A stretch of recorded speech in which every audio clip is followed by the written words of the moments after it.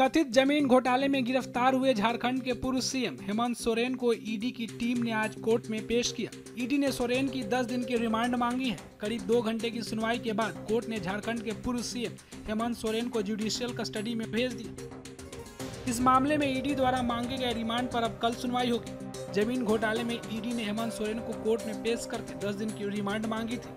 साथ ही हेमंत सोरेन ने अपनी गिरफ्तारी को हाईकोर्ट में चुनौती दी थी और तुरंत सुनवाई की अपील की थी। कि आज इनको जुडिशल रिमांड में भेजा जा रहा है। ईडी की रिमांड में नहीं दी गई है।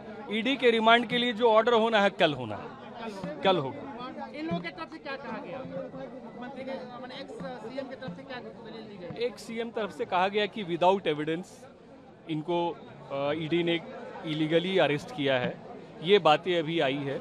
जो सीएम साहब के तरफ़ से एडवोकेट लोग एपीआर हो रहे हैं। यही बातें आई हैं। क्योंकि ये मैटर जो रिलेटेड था जो भानु प्रताप प्रसाद जो उनके द्वारा जो ज़मीन में मैनुपुलेशन की बात हुई थी उसी मैटर को लेकर ईडी वालों ने इनको रिमांड किया था। ईडी वालों ने रिमांड के लिए मांग किया गया था पूछताछ के लिए। दस दिनों के लिए यस कस्टडी में कहाँ रहेंगे? जुडिशियल कस्टडी में तो ये अभी एक दिन के लिए है। कल जो है ईडी का रिमांड पे ऑर्डर होना है।